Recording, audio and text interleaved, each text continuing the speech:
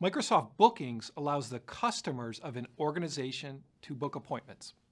While some obvious examples include a business like a dentist's office, dog grooming service, or perhaps a barber shop, Bookings is being used in businesses of all sizes.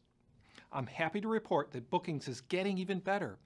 The improvements lie in the areas of enterprise-grade controls, customization, integration, and the Bookings mobile app. While the blog article I linked to in the resources guide provides more detail on each of these capabilities and the timing of their release, I'd like to cover one I'm looking forward to.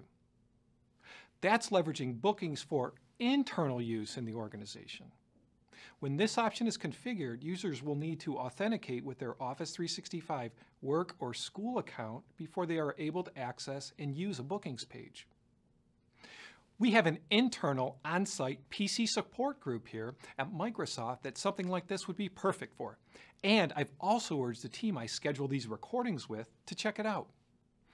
While I knew Bookings was available as part of Office 365 Business Premium and Microsoft 365 Business Plans, I also learned that administrators can enable bookings for enterprise customers with the Office 365 or Microsoft 365 E3 and E5 plans.